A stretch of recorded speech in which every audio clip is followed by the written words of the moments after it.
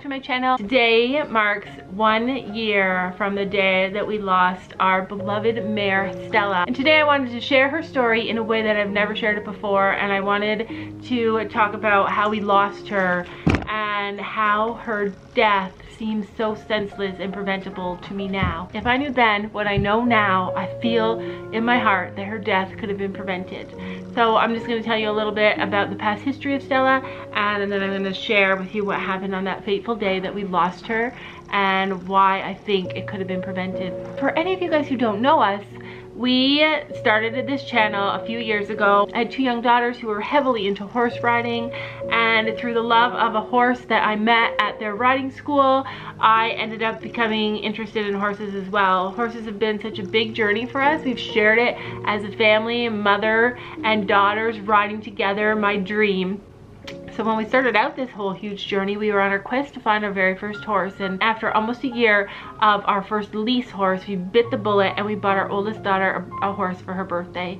Um, very quickly, we realized we needed another horse for our second daughter and we started the search. We found Stella four hours away from our home. I had dreamed that we were going to get a paint, a black and white paint, and sure enough, we went to look at this horse and she was a black and white paint. She was in a field, grass this high, eating her way to heaven. She was obese. To say she was obese is an understatement. Stella had just had her toes chopped off by the farrier the day before we arrived. Um, I suspect that she was in the process of a founder flare or just beginning to founder. She was a little ouchy. We sent messages to our farrier, to our vet, because this horse had the kindest eye, the softest spirit, and I wanted her. I felt God pulling me in a way that made me feel like we were meant to buy her. So after our farrier and our vet assured us that we could work with the, with the pictures that we sent him of this mare. We brought her home. One week later, she came to our barn and we loved her. From the moment she arrived, we loved her and she treated us amazing. Over the course of the next year, um, we did have some issues. We moved her to another barn. She wasn't quite happy there. It was a bigger place for her. She got really spooky. She threw all of us. It just was a bad situation. So our vet told us, if you want to save this mare, then you need to take her home. And let me tell you, this is the second time that we've had to save this mare. The first time when we went to visit her, we beat the meat guy by one day. Stella, our beloved Stella, was headed to the meat market if we didn't buy her. And then again, when we had to choose to bring her home to our little small farm and keep her here to help get her weight under control, it was the second time that we saved her. We brought her home and it was the most joyous time in our lives we got to form a relationship with Stella that we've never ever had with a horse before. We had her at home with us. It was such a different emotion. It was such a different experience to boarding a horse. We were responsible for her every need and we did all the stuff, you guys. We got her weight under control. We gave her supplement after supplement to help her in every issue that she had. We had the vet here. We did her teeth. We did all the things that you would do when you buy a horse and you bring it home, a beloved horse that you plan to keep forever. We took her camping with us. We took her on trail rides. We took her up and down the road. We took her for walks by hand on days that it was so cold that we couldn't do anything else with her. We just wanted her to feel our love and man did we feel her love. We did all those things, but sadly, they weren't enough. They weren't enough to save Stella a third time. So we had Stella a year and a half and sadly one day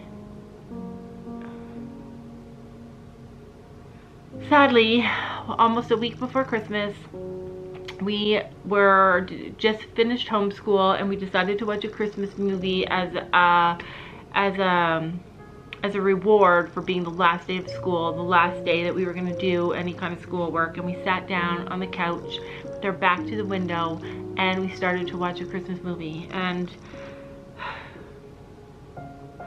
50 feet from the back of my head were our horses out in the field. I had such an uneasy feeling that day. I felt worried. I felt nervous. The whole entire time we were watching the movie, I felt nervous and I kept saying, we need to go down and feed the girls. We have three horses now. We had three mares at the time at home with us. And I kept saying, as soon as this movie is over, we are going down to feed them. We feed breakfast, lunch, and supper. So um, always in the middle of the day. But I just had this uneasy feeling and I wanted to go down and I wanted to just check on them. And I kept saying, okay, as soon as this is over, this movie is over, we're gonna go and check on them. And I kept looking at the window, turning all the way around and looking out the window to make sure that I could see them. And I saw them running and I saw them playing and it was a snowy, brisk, really cold day and so I turned back and I started watching the movie again. And I heard a commotion. And as I heard the commotion I knew. I, I just knew. We all suspect that Stella ran into the fence by accident and got a shock and that it scared her. And what happened after was a series of unfortunate events this time, we were not able to save Stella. What if the world had more of your smile? What if the wind could spread your love? What if your sweetness could reach everyone? There'd be no wars. Mm. Maybe the birds will sing about your trees will whisper the word. Maybe the sun will spread your joy to the ones who lost their hope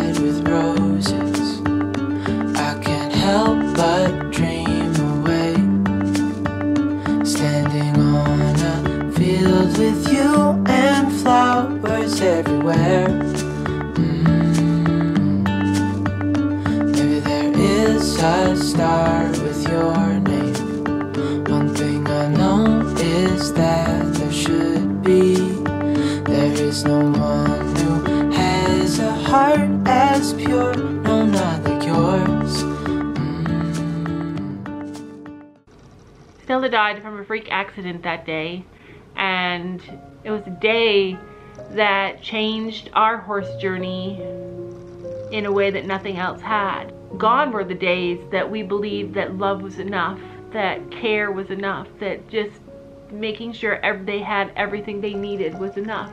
It wasn't enough for Stella that day. And ever since then, I have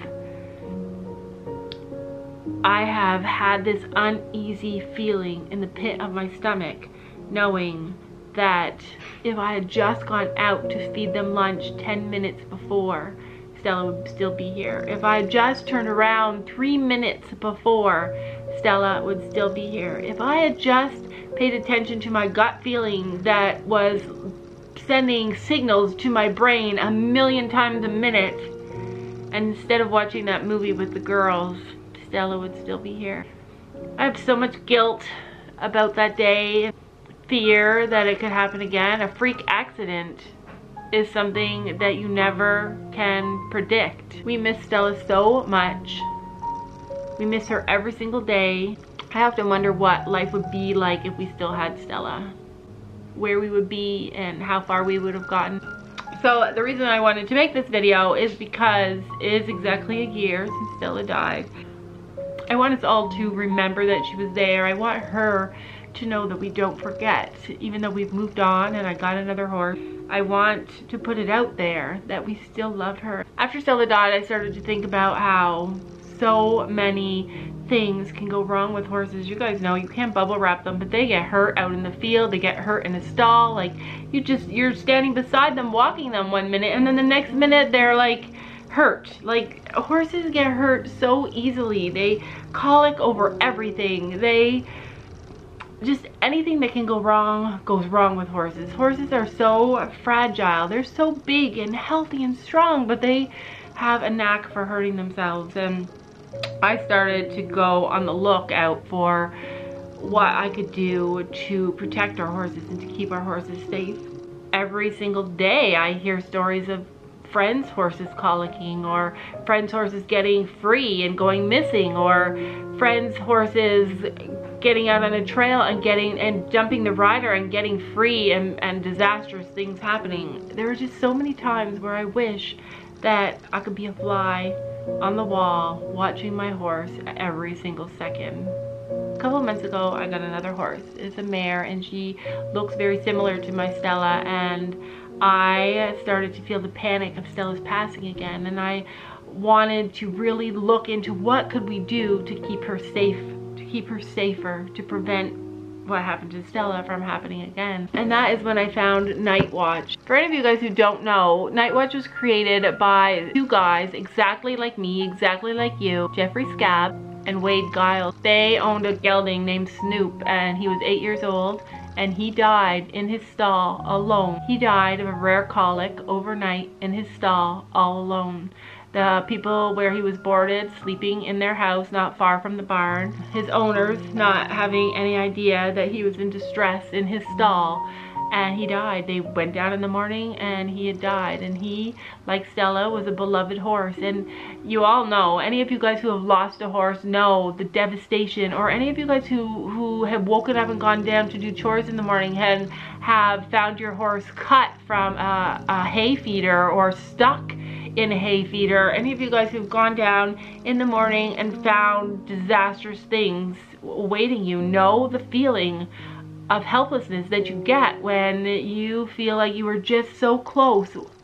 If only I had known I could have saved my horse, I could have prevented that. So the death of Snoop was the inspiration for them to create this smart halter. I know many of you guys are familiar with the technology behind the smart halter, but it is designed to make senseless deaths like Stella's and like Snoop's and so many other horses, so many other beloved horses. It's designed to make their deaths, their senseless deaths preventable. Night Watch can alert you at the first signs of distress in your high-risk horse, your pregnant mare, a performance horse, and you can be there when they need you the most. You can use Night Watch to tailor your horse's daily training based upon their overnight activity and general well-being.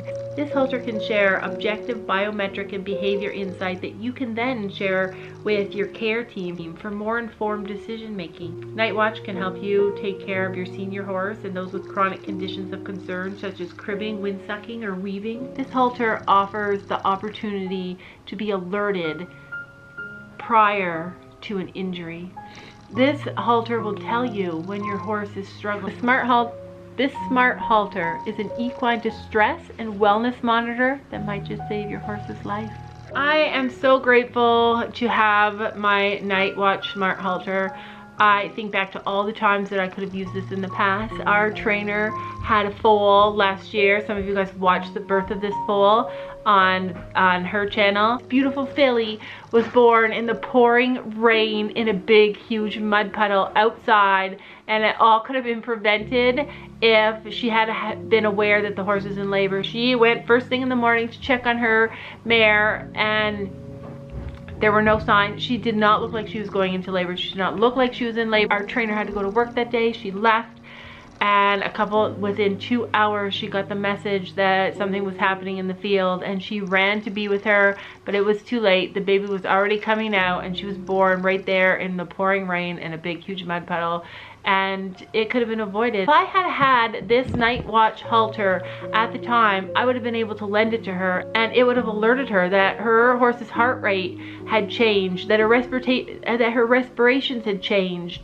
that her horse was likely in labor, it would have given her, it would have sent alerts to her phone, alerting her and telling her that there were these changes happening within her mare that she was unable to see, and she would have been there for the birth. She would have been able to keep her horse inside in a beautiful bedded stall where the foal could have been born happily and peacefully. Everything turned out okay, but if I had had this night watch halter, I could have lent it to her and read that people say that it is so beneficial to have one, especially if you have like a big show barn or just to have one halter in the barn. You can use it on multiple horses at different times. Um, just knowing that you have this technology at your fingertips to help prevent another senseless tragedy is so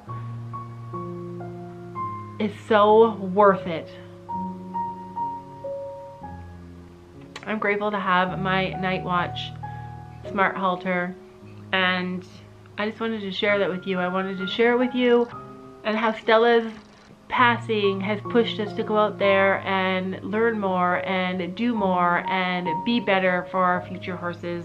As people, we always want to do what we can to keep our animals safe and having my night watch smart halter here I really do feel like it gives me the peace of mind that I didn't have when we lost Stella. Anyway, thank you guys so much for watching.